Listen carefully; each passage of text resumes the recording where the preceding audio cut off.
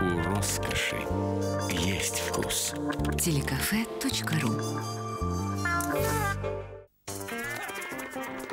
Свежее и быстрое. Свежее и быстрое. Свежее и быстрое.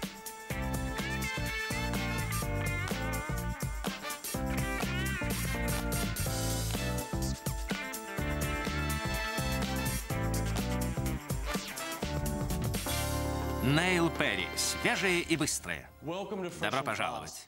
Сегодня с вами я, Нейл Перри, и великий повар из Бон-Рекорда Армандо Перкуку. Как ты, приятель? Как ты, рад видеть тебя. Всегда приятно готовить здесь с тобой. Сегодня я собираюсь сделать простые маленькие рулетики по своему рецепту рулетики. А ты будешь смотреть и думать, боже, что он делает? Да нет, что ты уверен, что замечательно получится. А что будешь готовить ты? Свое собственное блюдо. Инжир с горгонзола и ветчиной. Это одно из фирменных блюд. Я ел много раз, я всегда в восторге. Спасибо. Приступим. Добрый день. Добрый день. Добро пожаловать. Я начну с действительно очень быстрого томатного соуса. Верно? Возьмем итальянские помидоры. Они более мясистые, в них меньше семечек. И в это время года они в отличном состоянии. Лето. Мы не везли помидоры из Италии. А нам и не нужны помидоры из Италии. Нам не нужны помидоры из Италии. Важный момент в этом соусе — это снять кожуру с помидоров. Верно, Армандо? Не всегда, не всегда. Это не всегда необходимо. Так как соус должен готовиться очень быстро, я просто сильно его разогрею. Получится почти как теплый винегрет. Вообще-то мы делаем неаполитанский соус. Да. Кожуру не надо снимать. Фантастика. По классическому рецепту. Чтобы помидор держал форму. Да. Немного чеснока и сладкого лука. Как следует приправим морской солью. Кладем помидоры, встряхнем. Вот так. Красивые и свежие, спасибо. Пусть потушится несколько секунд. Скажи, а для прекрасной свежей сальсы помидоры должны быть какого-то определенного сорта? Да, да. Ведь вкус блюда сильно зависит от помидоров. Очень сильно. И о вкусе помидоров мы можем взять помидоры в огороде? Их много в огороде, этим утром особенно. Поразительно. Совершенно поразительно. Возьмем эту телятину. Вы только посмотрите на нее. Мы наконец-то нашли говядину в этой стране.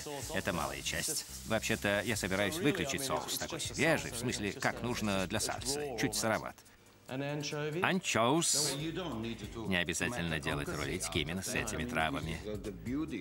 Немного чебреца. Вы ведь можете добавить в это блюдо любые травы, да? В основном петрушку или базилик, или даже чебрец. Скатываем рулетик. Очень свободно. Нужно только отрезать лишний кусочек. Получился маленький. Воткнем зубочистку. Замечательно. Когда вы делаете рулетики в вашем ресторане, вы их панируете? Да. Сковородку на огонь. И оливковое масло. Конечно, что же еще? Ты бы пропал без этого масла. Сливочному нет, оливковому да. Оливковое масло. Немного соли. Я хочу получить красивый цвет.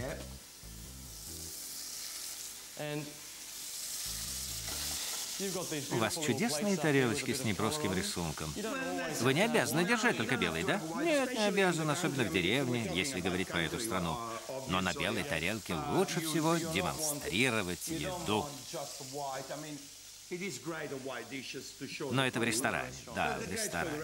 Но когда ты дома, особенно в деревне, хочется чего-то более яркого, цветного, да. И если быть честным, голубой цвет не очень отвлекает от еды. Эта тарелочка очень элегантная, маленькая, почти готова.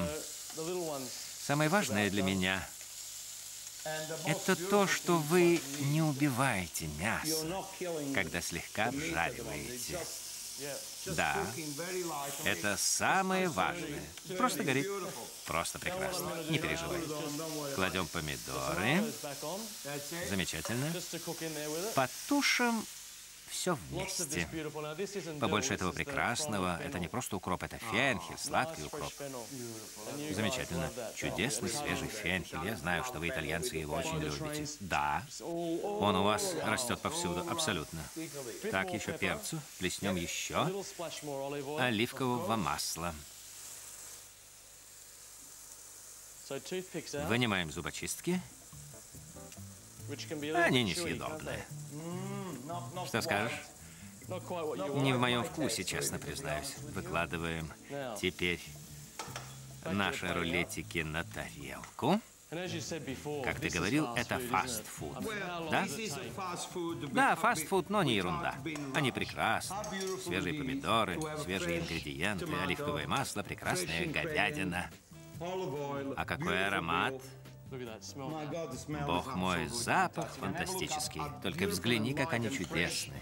Легкие, свежие. На тарелке нет ничего пережаренного. Просто замечательно. Именно так вы должны питаться дома. Мы хотим, чтобы именно такой была домашняя семейная еда.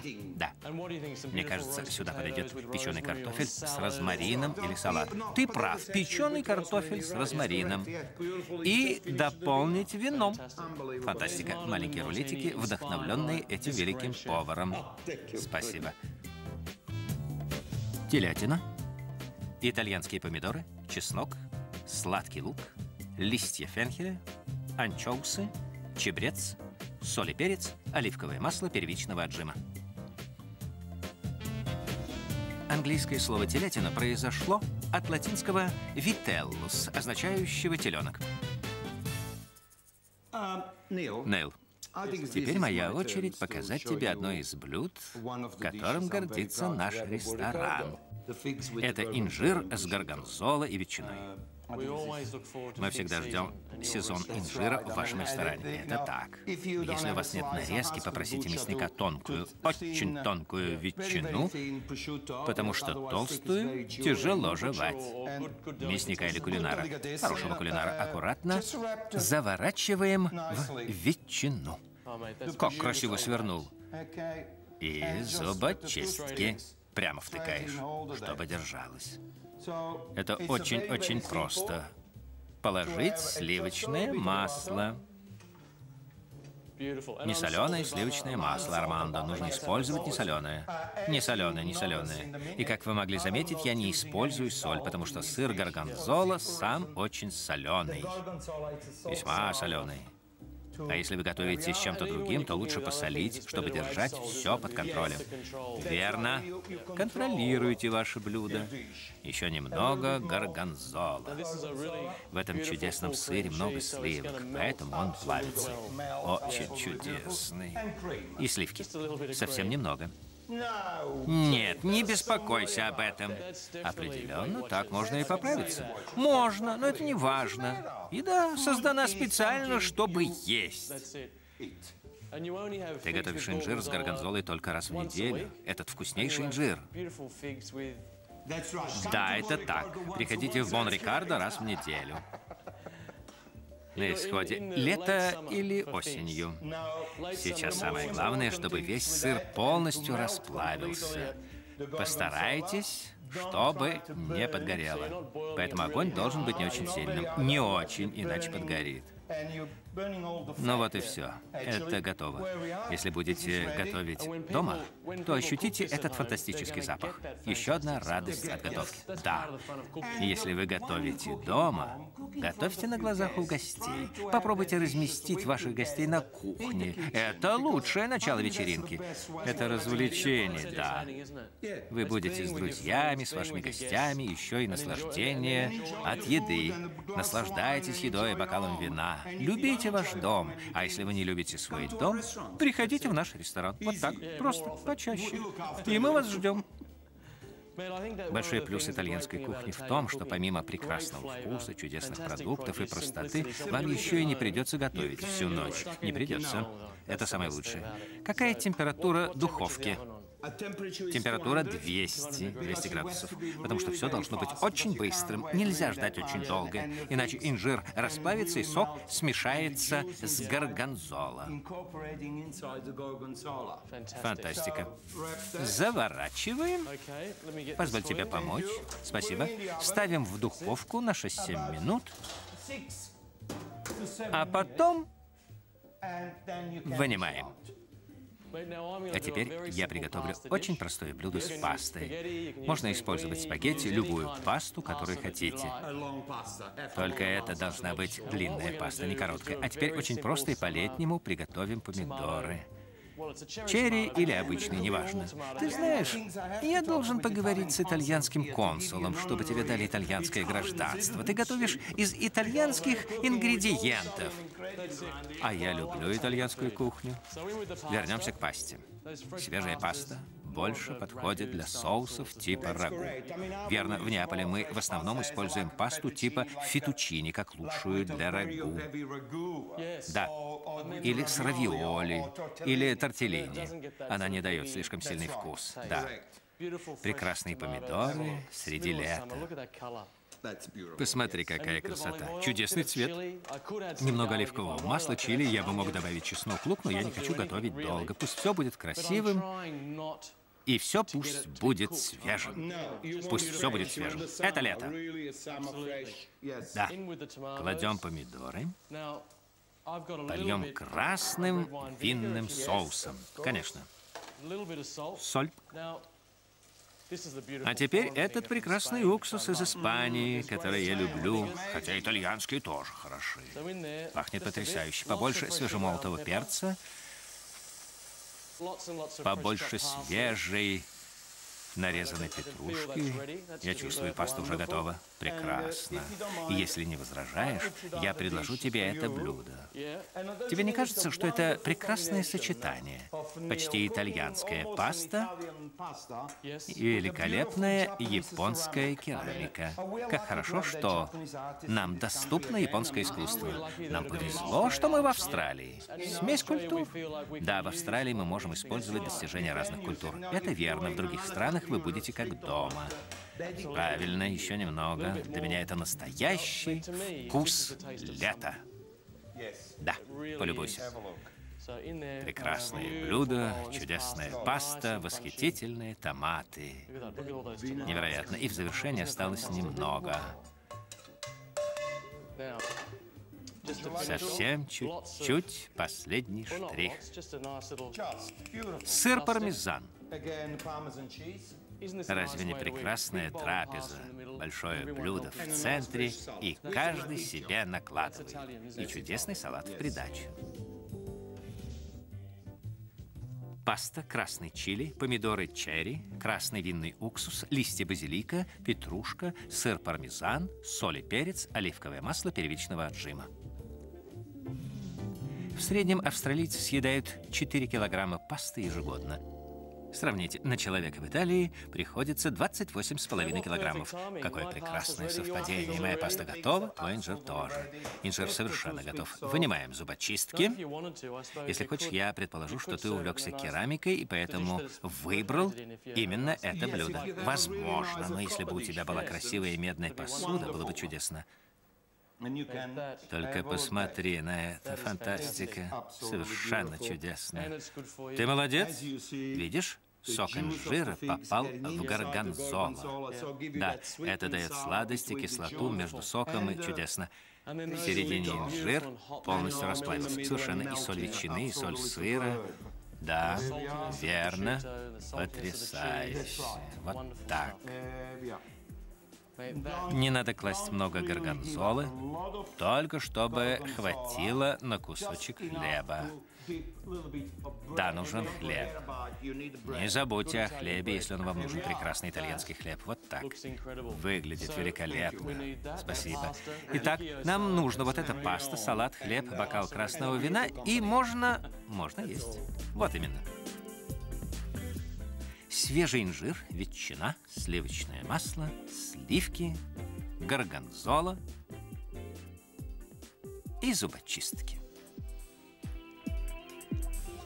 Инжир – самый сладкий фрукт. Он содержит 55% сахара. Позже Армандо приготовит вкуснейшую пасту фритату, а я поэкспериментирую с инжиром, крахмалом, маскарпоне и кокосовыми сливками.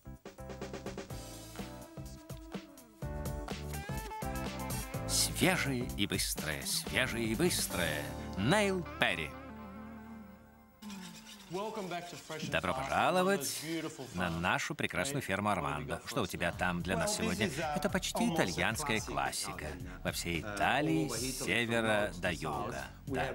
Готовят пасту фритату. Прекрасно. Ты возьмешь яйца с фермы. Да. Моих цыплят. Твоих командных цыплят. Поразительно. Итак, яйца, соль и перец. Всегда много соли и перца. Это прекрасно. Прекрасно, потому что я люблю крупное. Да, потому что это фритата. Деревенское блюдо. И замечательно, что вы можете использовать любой перец. Белый, черный, крупнозернистый, любой. Совершенно. Сыр пармезан. Не жалейте сыра. Пожалуйста, будьте очень щедрыми, особенно с яйцами. Он особенно хорош с яйцами. Прекрасно, просто прекрасно. Это настоящий пармезан. Это такой специальный сорт. Да, отличный кулинарный. Если у вас есть бекон или ветчина, или солями, неважно, или остаток окорока, что бы вы сюда ни положили, все подойдет. Вы можете сделать это блюдо полностью вегетарианским. Замените окорок помидорами. Верно, кладем помидоры. Просто фантастика.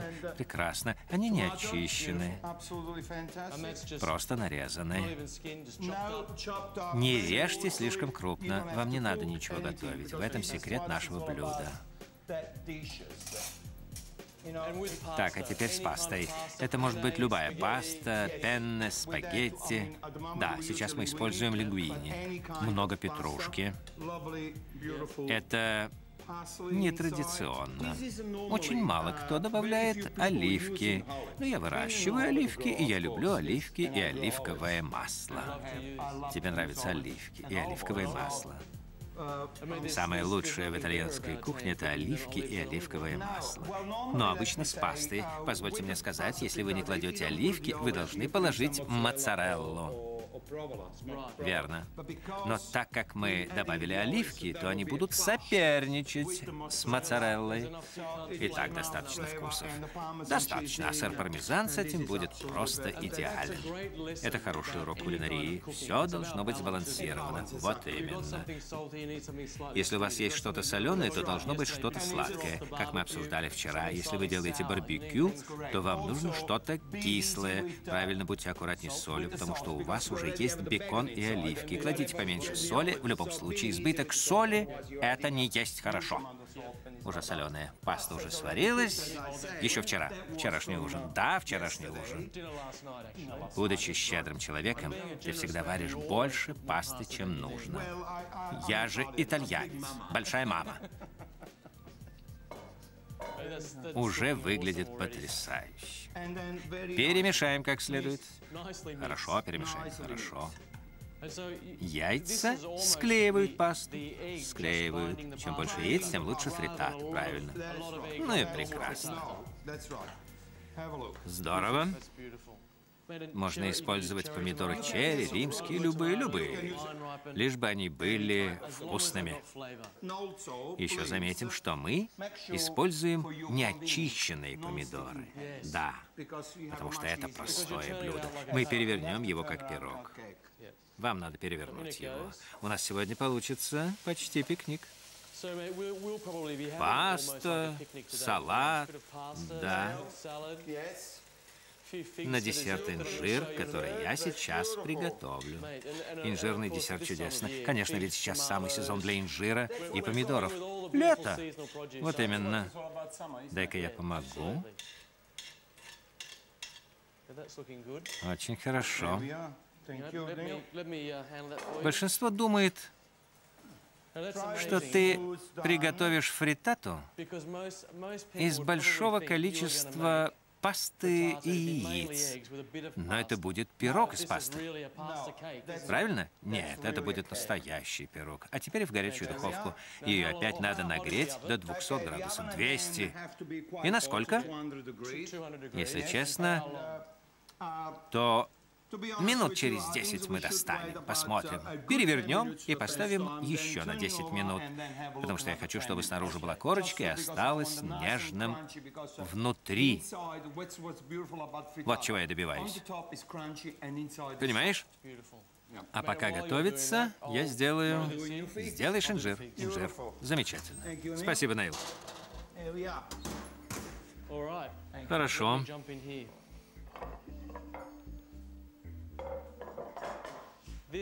Мы вновь будем готовить простое блюдо. Простота – главная вещь на кухне, да, но должно быть вкусно. Я бы назвал это инжирное карпаччо. А почему бы и нет? Правда, в Италии есть другой рецепт для инжирного карпаччо. Может, съездишь, посмотришь? А что? Я бы мог. Я тебе не верю, но это не важно. То, что я готовлю, очень интересно, но не надо делать блюдо слишком аккуратным. Да, не надо. Как будто вы выкладываете пирожные, но не естественно. Мы потом нальем немного сабайона, это можно так назвать, потому что мы взбили сливки и молоко, настоянное на кокосе и яйца вместе. Чудесно. И смешаем с маскарпоне. Согласно рецепту, который очень простой, все держится на инжире. Но это блюдо можно приготовить и с айвой, и с малиной, и с манго, даже с бананом. С бананом и кокосом просто чудесно. Но, говорят, у нас больше не будет бананов, потому что они не занимаются сексом. Ты шутишь? У бананов нет секса. Вот поэтому через 10 лет бананов не будет. Я видел по телевизору. Так, перейдем на корешки. Секс, бананы. Оставим в стороне эту тему. Перейдем на корешки. Тапиока многим напоминает школьную еду, поэтому многие ее не любят. Но это прекрасная вещь, и азиатские десерты просто чудесны. Немного кокосовых сливок на тапиоку. Можно было бы сделать ее самому, но это требует много времени. Перемешаем, пока тапиока не начнет разделяться. Если вы делаете кокосовые сливки самостоятельно, дома, то можете их использовать. Пожалуйста, для готовки. Для приготовления этого блюда. Это сабайон с маскарпоне. Надо настоять кокос со сливками и молоком и через день смешать с яйцами. Залил горячей водой и добавил маскарпоне. Здесь очень мало холестерина. Да, мало. Чудесно. Замечательная фактура. Я в восторге от фактуры. Очень похоже на прекрасное желе. Язык проглотишь. Все, что требуется, это нарезать фрукты, а это выложим в центр.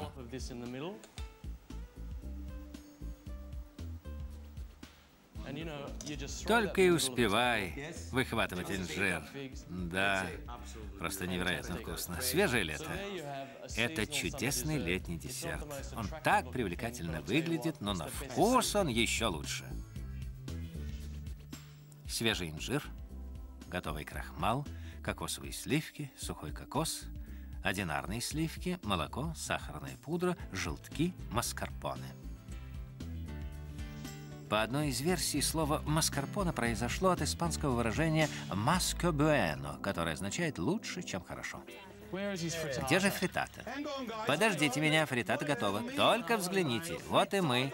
Осторожнее. Все хорошо. Отличные блюда для пикника. Деревенская еда. Спасибо. И мне кусочек. Превосходно. Правда? Да это просто фантастика.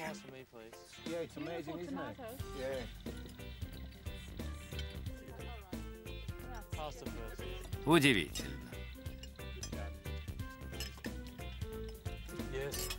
Да, такая вкуснотища.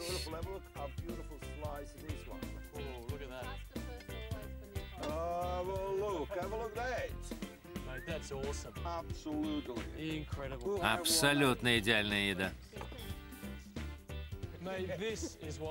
Прекрасная итальянская кухня, чудесная компания, хорошее вино, еда, окружение. Спасибо огромное. Спасибо. Ваше здоровье. Будьте здоровы. Хорошего аппетита. Ведущий Нейл Перри, композитор Энди Сидари, оператор Грег Кунг, продюсер и режиссер Майкл Робинсон. Фильм озвучен по заказу ЗАО «Первый канал. Всемирная сеть».